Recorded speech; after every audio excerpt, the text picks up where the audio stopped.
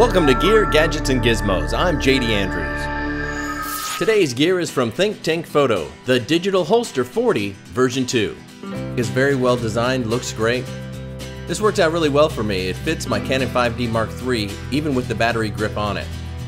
One of my favorite features is where the lens goes, you can actually unzip it and when you pop it down, it can fit a 70 to 200 lens. A stretchable front pocket for small accessories, on the holster's lid, there's a little pocket that you can store things in.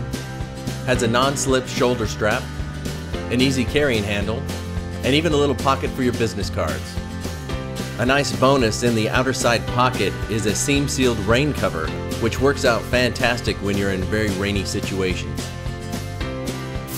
Another cool accessory from Think Tank is the Pee Wee Pixel Pocket Rocket. You just undo the Velcro and fold it right out. This makes it easy to keep all my media in one place. It actually holds four compact flash memory cards and three SD cards.